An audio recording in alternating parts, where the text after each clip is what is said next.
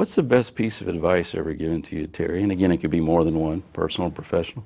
Well, I, I think uh, I was always raised. I think you tithe to your church, and uh, and then you save uh, some money every every payday, and that leads to what you can make down payments on, and then spend money for things that are really necessary for you.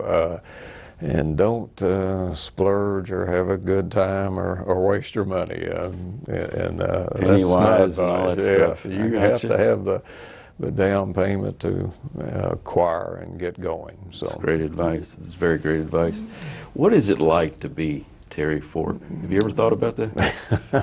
I'm sure other people have, but have? It's it's pretty good, you know, for- Mhm. especially now at the as you have built things up, and um, Mhm. it. Uh, I think you see yourself for what you are, and uh, again, you want to contribute to what's out there. So. Mhm.